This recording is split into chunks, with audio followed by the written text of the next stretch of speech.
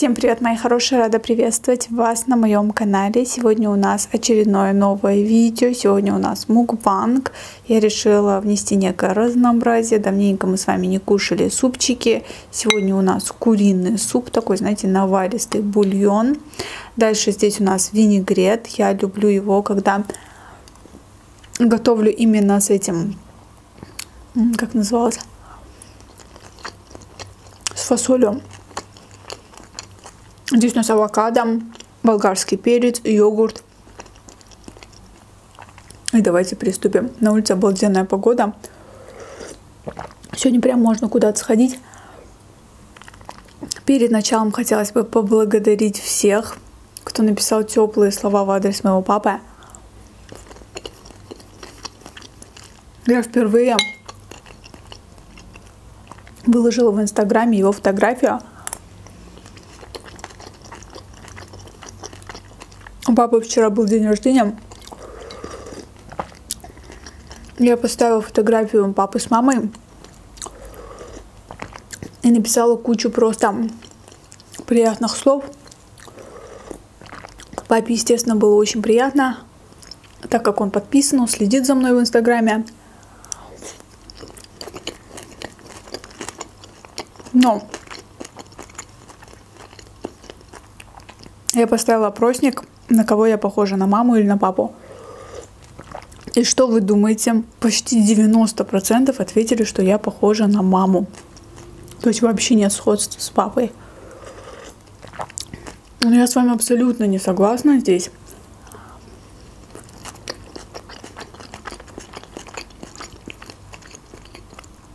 На самом деле мама считает, что я похожа на нее, а папа считает, что наоборот на него.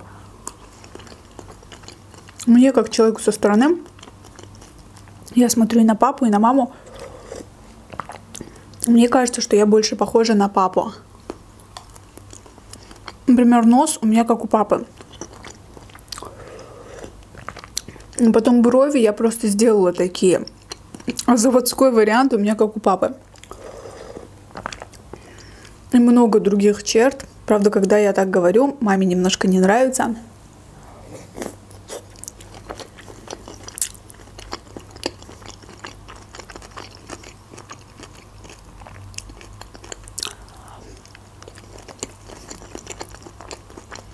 Какой винегрет вкусный. Впервые я попробовала винегрет, когда училась в школе. У нас был такой урок, труд назывался. В общем, девочки готовили, а мальчики там что-то пилили. В общем, на первом уроке труда нам сказали, что нужно приносить продукты – из которых мы будем что-то готовить. Первый урок мы готовим, второй урок мы сидим это кушаем, плюс приглашаем наших пацанов. Ну, одноклассников в смысле. И первое, что мы приготовили, это был винегрет. Я впервые просто пробовала этот салат. И в тот день мы были настолько голодными, потому что эти два урока были последними. И утром мы не позавтракали.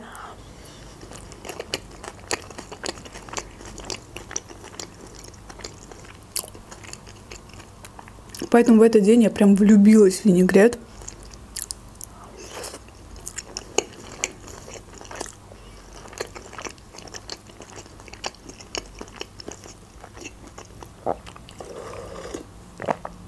Просто прекрасный салат. В общем, насчет того, что я похожа на папу, кстати, давайте я вам сюда тоже вставлю фотографию. Вдруг вы не подписаны на мой инстаграм. А это было все дело в истории. Сейчас уже такого нету. То когда я говорю про то, что я публикую в инстаграме, смотрите, какая ножка. Знаете почему? Потому что это деревенская курица, она нереально вкусная, она не сравнится просто с этими курочками, которые мы покупаем в супермаркетах.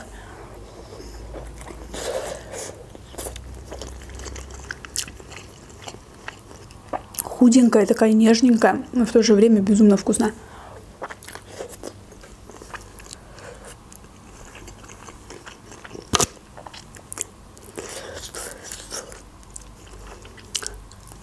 Вообще обычно почему-то у меня супы вообще не заходят.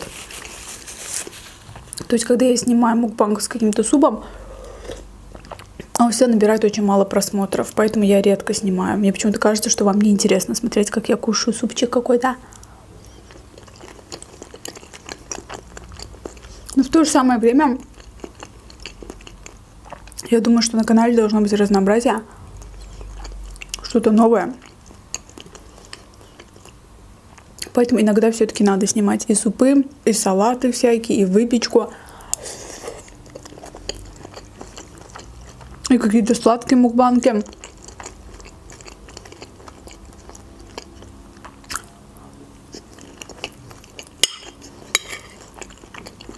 Сладкие мукбанки особенно сложно мне снимать, потому что сладкое много не съешь. Ну, по крайней мере, я не могу. У меня прям племяшка прям реально может съесть дофига сладкого. А я вот не могу, меня сразу начинает тошнить.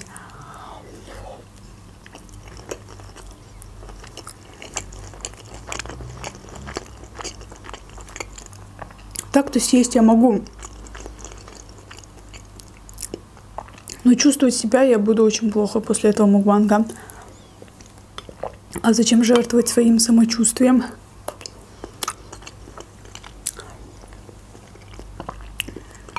Один раз я снимала мукбанг.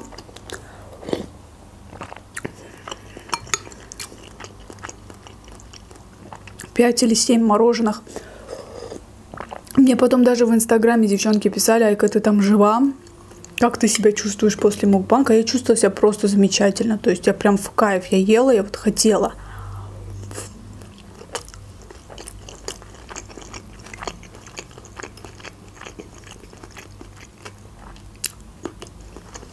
Авокадо очень в тему. Вчера мне написали мои квартиросъемщицы. Немножко даже в шоке была, что они мне написали. Я думаю, может, что-то случилось. И они там хотели уточнить карточку, прикиньте. Заплатили квартплату на три дня раньше. Вообще очень порядочные, очень классные девчонки.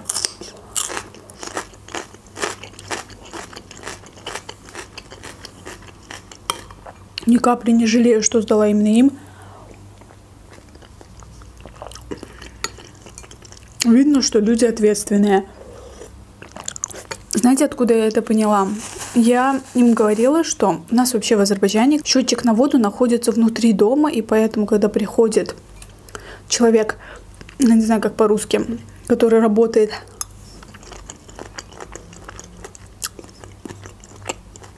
Не знаю, как это сказать на азербайджанском, не знаю, как на русском. Человек, работник, который приходит, не может выписать тебе чек, пока не зайдет к тебе домой, ты должен просто сфотографировать свой счетчик и отправить этому человеку, он тебе отправляет чек. Вот так вот работает эта система. Я ей говорила, что каждый месяц 2 числа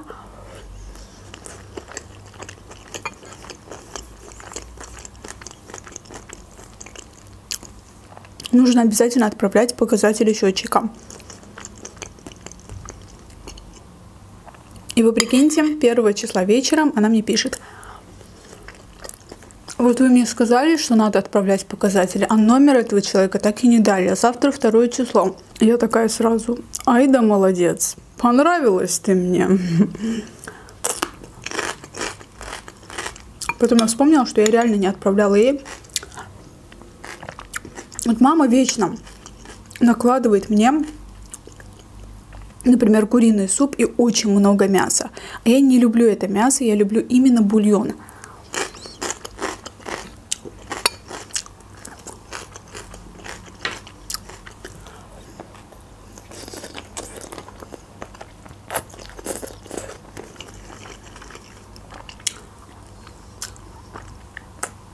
То есть в этот раз мне конкретно повезло. Девочки ответственные, классные.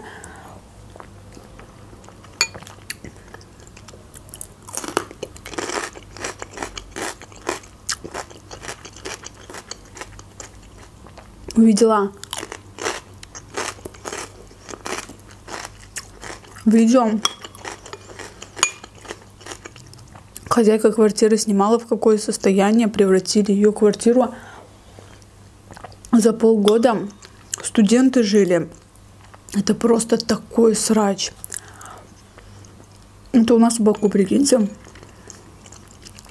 Как можно быть таким безответственным?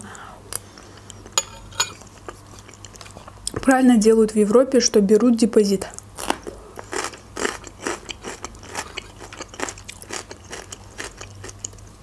Если что-то сломалось или в таком состоянии, ты оставляешь квартиру, с этого депозита все это вычитывается. И тем самым хозяин квартиры тоже страхует себя. Еще меня спрашивали, почему я немножко подняла квартплату. Мои прежние квартиросъемщики, они выехали. И уже новым я установила чуть-чуть дороже ценник. Почему я это сделала? Потому что все дорожает. Если вычитывать, например, амортизационное отчисление, так скажем, за каждый месяц, потому что лет через пять в этой квартире опять надо делать ремонт, переклеивать обои, менять какую-то мебель или еще что-то. В общем, все дорожает, обои тоже. Год назад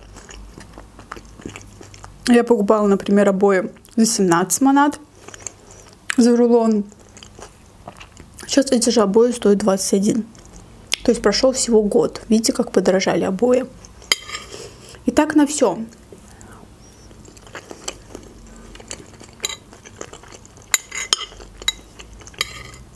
Но когда люди живут в квартире, это просто естественно, что что-то где-то рвется, что-то где-то портится.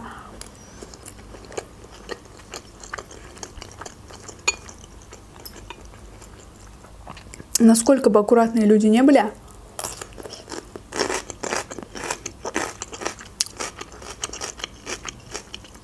это имеет место быть. Плюс еще моих квартиросъемщиц есть кошка.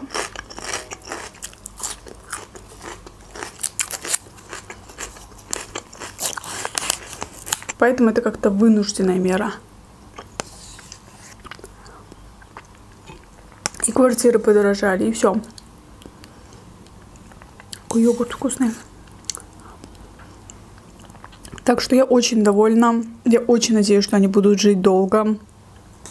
В смысле, в моей квартире жить долго. Не будут никуда съезжать. М -м. То есть, когда люди к тебе хорошим отношением, ты тоже должна отвечать тем же. На этом все, мои хорошие. Такой вот мукбанг был. Я поела, было реально очень вкусно. Я надеюсь, что вам тоже было интересно меня слушать. И вы провели эти 16 минут со мной классно. Всех люблю. С вами была Айка. Не забывайте подписываться. Пока.